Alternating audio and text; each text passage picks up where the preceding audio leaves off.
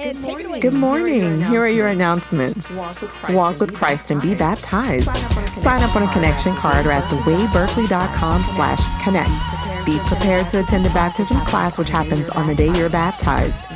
We commit to helping you grow as a Christian. Sign up for the available live groups at thewayberkeley.com slash grow. Groups include UC Berkeley small groups too. Check the website for the schedule.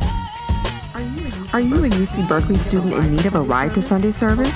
Well, starting October 1st, meet at Unit 1 Christian Hall on Sundays at 9:30 for a ride to church. Drop-offs will be at the same location. Get a free session with a licensed clinician by signing up at thewayberkeley.com. Join us here at The Way for Lament, a series of pauses. The performance and four week teaching series is grounded in the context of friendship, oriented toward faith in God, and explores hard to voice questions about racial injustice. The program runs on Wednesday evenings now through October 4th. Join your friends who have expanded their service to our community. You can serve for a term on one of our ministry teams. Sign up at thewayberkeley.com slash grow in order to serve. You can access these updates and more at thewayberkeley.com. Enjoy your week. All right. All right. Clap it up for that.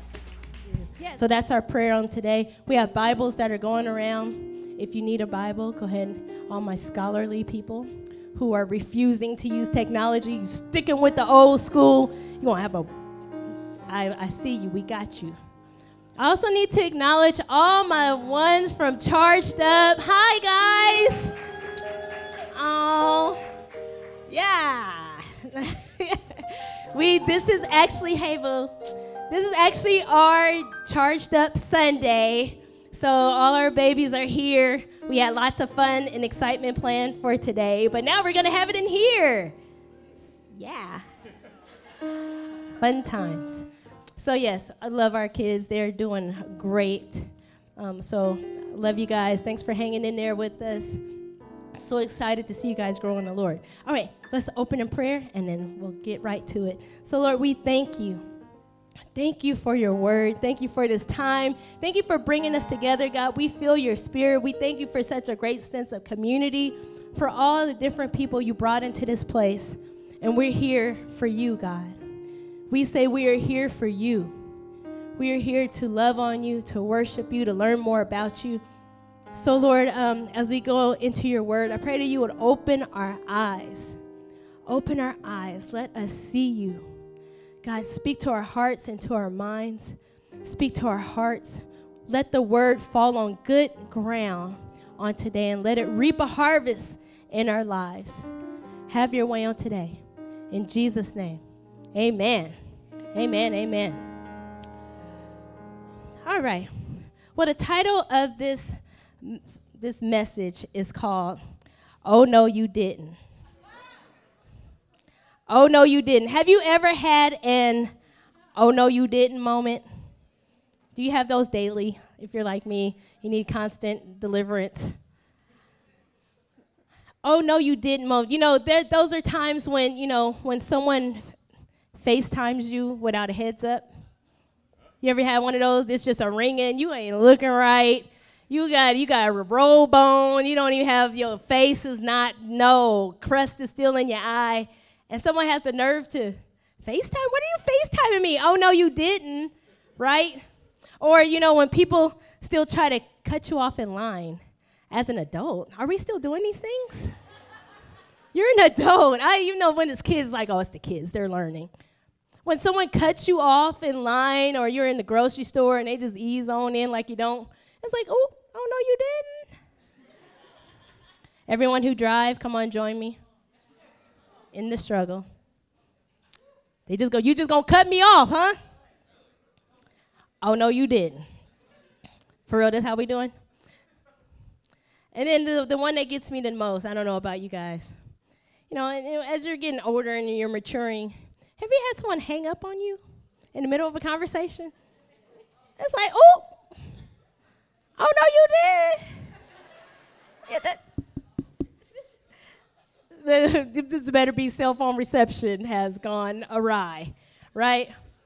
Oh no, you didn't moments. Well, uh, we what we're going to talk about today is a classic "Oh no, you didn't" moment in the Bible. You didn't even know those existed, did you?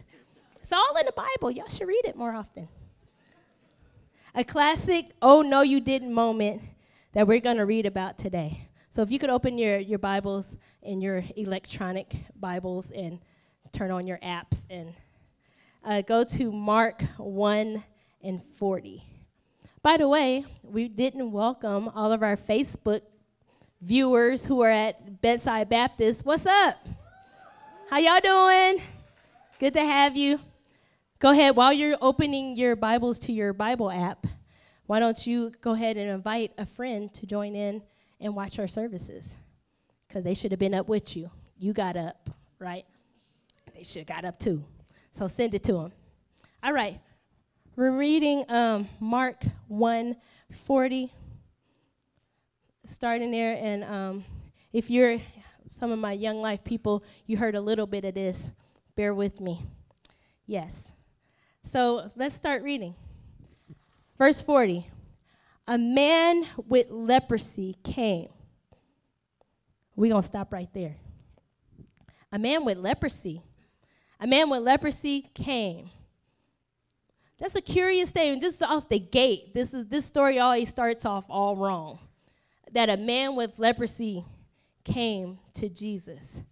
See, if you had leprosy in Bible days, it wasn't like you know you just go to Kaiser or you go to Summit get that cleared up right quick. Go to a little local clinic. No, leprosy was a pretty deadly disease. Um, so if you had leprosy back in Bible times, it was highly contagious. It was a, a progressive skin disease, right? It deformed the limbs. It decayed your hands and your face. And it had these blisters that would bust out all over and it would scab and crust over. So I was gonna show y'all pictures, but I figured that would have been doing too much. So they, I did. Yeah, I see. I'm thinking about y'all. I had a whole slideshow. But I spared you. You can look it up on your own. This thing is gnarly. You know, sometimes we look at the cute little Bible picture books and we see like the cute people like, Jesus, I need help. Like we look and we think it was all like cute. But this was a gnarly looking disease. This man was looking like, you know, when you go to the spirit store, the Halloween store, you got all the crazy looking mask and people looking all askewed. This was a terrible looking disease that this man had. We don't know how long he had it. When you had this disease, it totally ostracized you from society. Because according to Jewish law, you had to do a few things. First of all, you could not be in the community at all because it was contagious. So, you know, if you had a house, well, now you need to live in the leper colony, which is usually outside the city, what was outside the city was also the city dump, where you know they didn't have what waste management back then, the WM with the trucks rolling around. So people just whatever they discarded, it was just outside the city. So it was filthy, it was dirty. This person was totally isolated from society. And guess what? Whenever he went anywhere, he had to yell a certain thing. So whenever he approached the city say he's just walking down the street one day. He just have to always yell, unclean, unclean. Everywhere he goes, he comes approaching, hey, un- unclean, just letting you know, unclean, me, I'm unclean. And that might work maybe, you know, first week or two, but then that's gonna get old after a while. Like, hey, unclean, yeah, me. The rule was you had to stay six feet away from someone who had leper, who had leprosy. So what that Brother Maurice about about right here. So at all times, you're six feet away from everyone at all times. They had a strange rule also. If the wind was blowing, you had to stay 150 feet away. I don't know if they just walked around with measuring tapes. But can you imagine if the wind blowing, just how people would treat you? know how people are. Hey, bruh, it's blowing. No, wind blowing. Get on back. Mm-mm, too close. Mm-mm.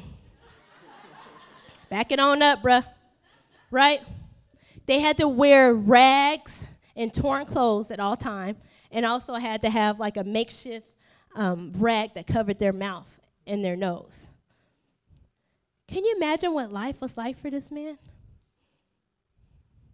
Sit and think about it. Sometimes we just read and we'll just like, okay, and a man approached Jesus and we just read the story. But let's sit and really think about this leper. What was life like for him? You know, maybe he had a wife. Maybe he had kids. Maybe he was a prominent person in his community. He might have had a house. Now, all of a sudden, you have this disease and you're separated and isolated from everything you know and love. No one can touch you, you can't touch them. You are considered unclean. People are appalled when they saw you. Whenever you came in the vicinity, it's like, oh no, you know, and reasonably so. You know, medicine wasn't where you know where we are today. No one wanted this. I don't want leprosy. Oh no, then I got to live like you. I got a life. Think about this man. What was his life? What if he had a little boo? What if he had a girlfriend? You was in love, and now she, I can't talk to you no more, but you, do you still love me? Like, um, are we good? No? Think about him. This man had leprosy. So let's pick up the story. It said, A man with leprosy came and kneeled in front of Jesus. So wait, this is where we got to hold up right here. This is our, oh no, you didn't moment. Because, excuse me, sir, do you know the rules? We just went over the rules, correct? The rules were you need to be six feet. I don't know if the wind was blowing or not. What? Oh, no, you didn't. This is very controversial for this man to approach Jesus. And what did he do? He knelt in front of him. That's, that's close proximity. He knelt in front of him. Now let's let's compare. Let's compare. Let's let's compare Jesus's reaction to what my reaction would have been. Uh, there's going to be a stark difference, right? So, you know, leper approached me. I'm Jesus. And he gets to my feet. I'm like, um, disciples, what? Security? It's 12 of y'all.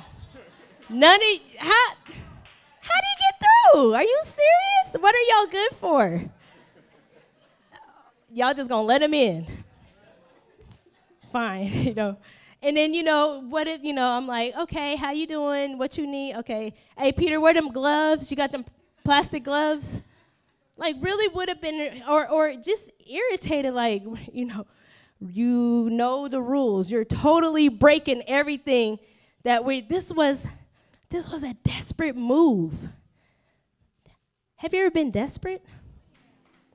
You ever been desperate to the point where I don't care?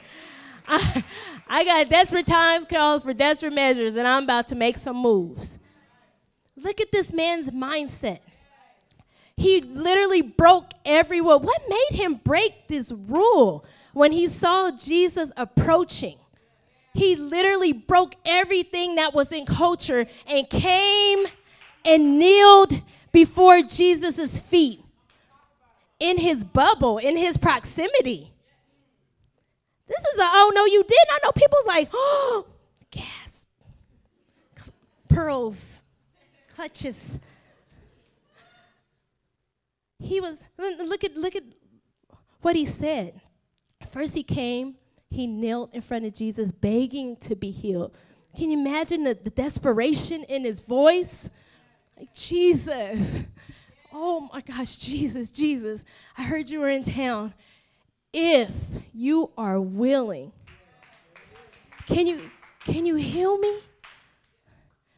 and make me clean? listen to the insecurity of his ask. Look how insecure he, he wasn't even sure. He was so unsure, like, I don't know. I'm taking a big risk. I'm throwing it all out there. I'm putting all my crabs in. I'm doing a whole, putting every, I don't know if you could do this. They might stone me after this.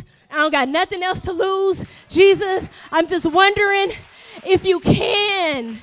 If you can. Are you are you willing? If you're willing, could you please?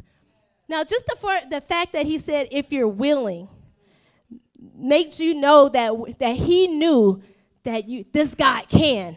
I seen you did it. I heard you, you did the little people with the blind eyes. I heard the little man started walking and the little lady with the, I heard you did all these great things. See, a lot of times we hear Jesus doing all the, they got a promotion, he got a job, he got a new car, they got a house, he got into college, wondering, Lord, what about, what about me? Do you think you can do it for me, Jesus? Anybody ever had a question like that before? God, I seen you did it. I seen you do it before. Other, you think you could you can do this for me? Jesus' reaction was definitely not my reaction. Verse 41 says, Move with compassion. Let's just stop it. Just move. That that word in the Greek is like his bowels, everything in him just churned on the inside. That's how much compassion he had. Not irritation, not, oh my gosh, are you serious? Like, who let this guy in? Like, what's going on? Not irritation. But this really gives us a great insight of how God sees us. This is how God sees us. Even in our darkest times, in our most messed up times, in our ugliest moments, in our most sinful state, in the worst party weekend that you just came off of, of the worst affair or anything you had, he still sees you and is moved with compassion, which is much different than the God that we have in our mind. We think he is mad. We think he is angry. We think he gonna get back at me. I better watch my back because God about to get me. We think he got a, lightning bolt. I most of y'all be me might say I'm I can't even go into church because if I go into church, psh, it might burn. it might burn. I don't even want to do them people in there like that. All because of me. But this is where we have to change our perspective on how we see Jesus. He's not mad at you. He's not irritated with you. He's not holding this, whatever the ugliest thing you've done. He looks at you and is moved with compassion. What great news! Ooh, what a mighty God we serve. Now, I think you guys were with me when we talked about the um, when Jesus healed the man little eyes and he spit in it. I was like, Jesus, you didn't need to do all that with the spit and stuff. So this is another one of these things. He reached out and he touched him. Y'all got to get this. He touched this man. This man had probably not been touched in years. A human touch in years. He has not had anyone just a human touch. He's not had that in so long. Jesus touched, he did the unthinkable. No one touches a leper. No, man, you're going to get it. He got the cooties. Go. He didn't care. He reached and he touched it. Touching him was so unnecessary because he could have just spoke a word. He could have just spoke it. Hey, hey, bruh, you healed. All right, keep it moving. See, you good. Check it out. Mm-hmm. He could have just kept it moving. He said, Oh, yeah, your daughter, don't worry about it. She healed. But he took the time to touch him. And check, check out, check out when he touched him though. See, I would have been like, You healed. You good? All right, now I'm gonna shake hands. No. He touched him before he was healed. So, what does this tell you about your Jesus? What does this tell you about Jesus? He touched him before he even healed him in his dirtiest state, in the most deplorable condition. Remember, we don't know what this guy looked like. He could have been all jacked up. And he touched him. And he said, I'm willing. I'm willing. Be healed. He said, I am healed. And why? Why would he touch the one thing everyone shunned? Why would Jesus do that? Why would he touch the one thing that everybody ran from? There's no way. Because he is bigger. He is bigger. You guys got it? If you don't take anything away from that, he is bigger than anything, any disease, any hurricane, any earthquake. He's bigger than any problem, any mistake you've made. He's bigger. You that didn't even phase him. You're like, what? Leprosy, Psh, lightweight. Here you go, bruh. Right? Jesus is working on the same wavelength that we're working on. He's much bigger than your problems. Think about the greatest problem you're dealing with right now. And then let's do the equation. He is greater than. What's the sign? Where's Malaysia when I need it? The math teacher. He's greater than anything. He's great. His, his equation always equals I'm bigger than that. Anything you're worried about right now, I'm bigger than that. Any disease that you might have in your body, I'm still bigger than that. I can touch whatever. It don't it doesn't phase me. And he healed him. He healed him. Imagine the joy. Come on, think about this leper. His skin is jacked up, scabs everywhere, deformed hand. Jesus said, You're healed. You good? He looks down. Can you imagine what he saw when he looked down and is completely healed? Do you know what that meant for him? I can go home. I can go back to my wife, my family, my I'm back. I'm, I'm back. My life is back to normal. I'm whole. Jesus cleansed the leper. Not just healed him, he cleansed him. Imagine the joy. So, these are the lessons that I've learned from the leper. And we're almost done. Hi. Give the Lord a praise for early service. Ah. See you. See you gonna get. Y'all gonna get me fired. Stop. Nah, just kidding. Lessons from a leper. First thing I've learned that no matter what situation you're going through, no matter how big and impossible it seems, all you have to do is come to Jesus in the language of worship. Come on, let's look at what he did. Come to Jesus. A lot of times we hold, you know, we strong. I got this. No, I'm good. I'm holding it in. I'm gonna be strong for everybody holding it. You good? No, I'm good. I'm good. You want to talk? You want to share? You going to go coffee? No, no, I'm fine. Holding it all in. He learned the secret. He came to Jesus. Number one, you got to come to him.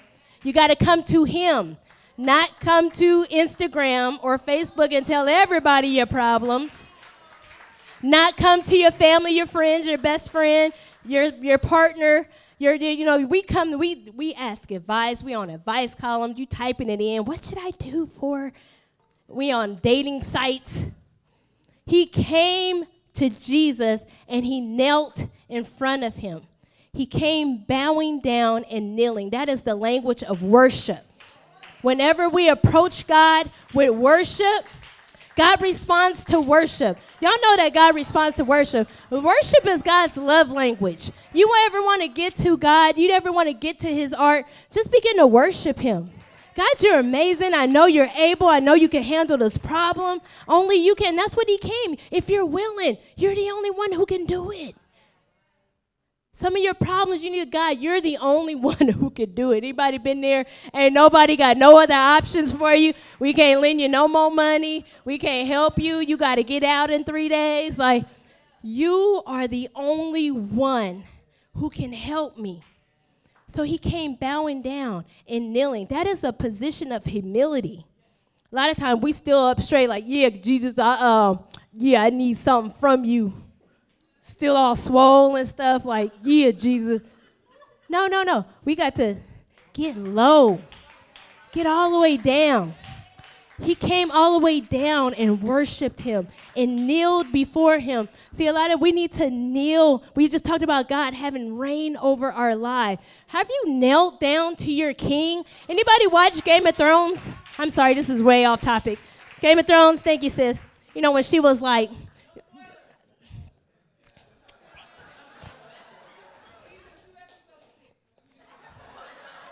a good analogy. Plug your ears. Well, there was a situation where someone was requiring someone else to kneel before them and can you know I'm talking about and kiss the ring. You know, like I'm your your king or your queen. Could have been either.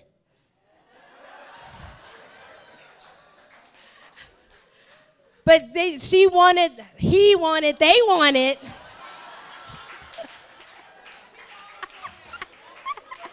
They wanted the person to kneel down and acknowledge their, their rulership. You need to, I need you to bow down and admit that I am your king or your king or your queen. Have you bowed your life to God? Have you let, like, God, you know what? I give it all to you. It's all yours. Just, there's nothing else. You are Lord. You are King. I give it all to you.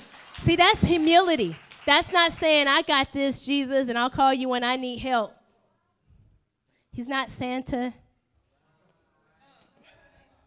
He's not your, you know, gift list, your magic genie. He wants to be the Lord of your life. So, first thing I learned from the leper come to Jesus with the language of worship. Second thing I learned from the leper know that Jesus is willing. We need to sit with that for a minute. We so used to having the mean God in our mind, like that he gonna say no to everything. Maybe how many mamas are like that? I was like that. Mama, can I? No. Hey, put your hand down. It's my son. hey, it was true. They go to the store, go to the store. Don't go to the store asking for stuff. Can we? No. Can we? No. Can, what about this? No. But sometimes this is not what the Lord is doing in your life. Sometimes the Lord is not the one who's always saying no. And a lot of times we don't come to Him with our biggest dreams and our biggest possibilities. When's the last time you came with Him with your biggest dream? Like it don't even make sense. Like you can't even really explain it to a friend. Like if you told them, they'd be like, "Oh, that's what you're gonna do, huh? Sounds great." But give those. He is willing. What about your biggest mess? The thing you still sit up nights thinking about still beating yourself up about, still kicking yourself, still feeling guilty about. Are you willing to give that to him? Because he's like, I'm, I'm willing. Jesus, can you, can you fix this? I'm willing. Can you cleanse this, Lord? Yeah, sure. I'm willing. Can you heal this? Can I give it to you? Jesus wants you to know that he is willing. When was the last audacious prayer that you've prayed? I mean, out the box. I mean, something that only God can do. See, a lot of times we don't. We're like, oh, that's too much for Jesus. He's busy. He's got a lot, a lot of people. This message is for you. Give him your wildest dream. This man took the biggest risk of all. He took the biggest risk. He got down on his knees. He broke all the rules. He gave, gave him the biggest request he could have asked, and it was nearly impossible. Don't lose that dream. Give it to him. Don't say he, ah, that's too much. Come on, I'm learning from this leper. Another thing I learned from the leper is that Jesus wants to touch my worst condition. He wants to touch it. Now, it's been said that the condition of leprosy can also be compared to sin. The condition of having leprosy, um, the way it separates people from communities, the way it isolates, the way it progressively spreads. You ever, you know, started off with a little sin, then a little, little more, then a little, you know, then you headlong, you all swimming in the sin, and you're like, I just put my toe in, right? Sin is progressive. It's like a cancer. It spreads. It starts one little area of your life. And if you if you've experienced it, it will be all encompassing. It can be com- compared, leprosy can be compared to sin. It makes us unclean. Sin is the only thing that separates us from fellowship with God. And let's get let's get straight of what sin is. A lot of times when we say sin, it's just like, oh, that's just being bad. Stop being bad, right? But sin is, is really the, the correct term is that is missing the mark. Is missing the mark or the standard that God has for us. I have friends who were in the brownies, Cub Scouts, brownies, yes. And they did archery class. Anybody did archery? Anybody else did? Oh, look at y'all. Y'all better campfire. No one put me in that. So archery, the whole analogy to that is like you're trying to hit a target, but when you're trying to hit a, a standard or a target, you fall short. That's exactly what sin is. God has a standard and we constantly don't live up to it or we miss the mark. And sin is very serious condition. It was so serious that Jesus had, God had to send Jesus to die on the cross for our sins. It's very serious because if left untreated, sin left untreated causes death. Just like cancer left untreated, sin left untreated causes death, whether it's emotionally, physically, mentally, spiritually. But the good news is that there's a cure. God has provided a cure. He has provided a way. We could not pay for our own sins. Everybody get that? You know, like we can, you know what the payment for your own sin was? You know, everybody was supposed to pay for their own sin. Just like if, if I went to jail, I got to go to jail for my own time. Everyone pays for their own sin. You know what the payment is? It's death. Everyone was supposed to climb up on that cross and die for your own sin. You you you did you did it. You you got to pay for it. It don't just disappear, right? And look how gracious Jesus was to come see our condition. They can't pay. They don't even got no money. They don't. There is no way. To, and he took our place died on the cross for our sins. The good news is that your sins have been forgiven. This is what we're supposed to tell the whole world. Hey, guess what? God's not holding your sins against you no more. You know, hey, good news. Hey, we need to have like a bail. Hey, guess what? God's not holding your sins against you anymore. They're not separating you. So, what's still separating you from God? If He's removed every obstacle and every barrier, why are we still so far from God.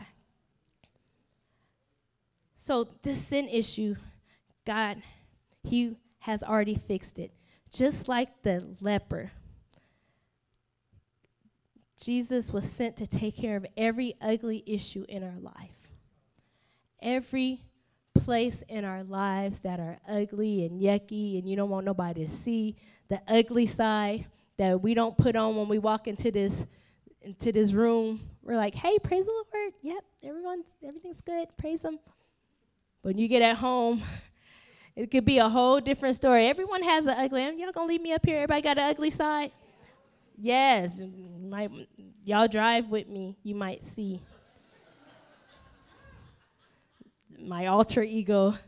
But uh, God, He died. Jesus, God sent Jesus to die for every ugly part of our lives. Now, he wants you to have the same experience that that leper felt when he was whole. Can you imagine that?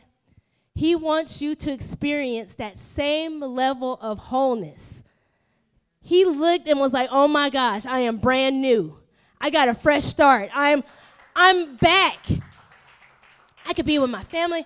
Can you imagine you feeling that on the inside? Every ugly, dirty place, everything that you don't like about yourself. Can you imagine him touching and healing and cleansing that and you having that feeling of, I'm new.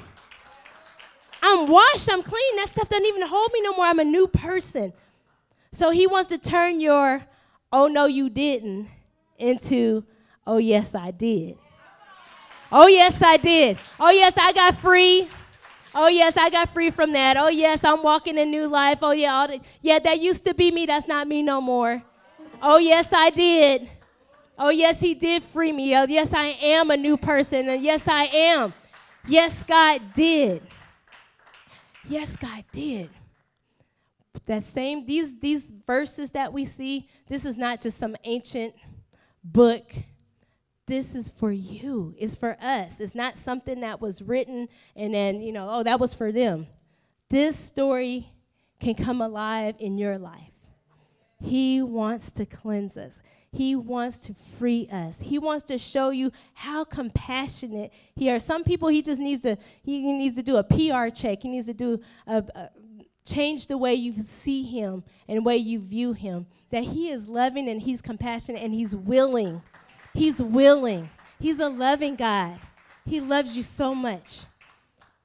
So we are going to close on that. I'm going to ask everyone to stand. We got lessons from a leper. We want to take this time just to reflect. We got a few questions want you guys just to think about and reflect. We're going to go into just a time of worship and singing. Yeah, our questions. Like the leper, have you ever felt shunned or isolated? Have you felt left out, pushed out? When you came around, nobody wanted to be around you or moved the other way. Maybe it was your skin color, maybe it was your your, your status in life. Maybe it was your past. My question is how did Jesus meet you in that moment? Or if you're currently feeling isolated or shunned, this is your uh, invitation for Jesus to meet you right in that moment.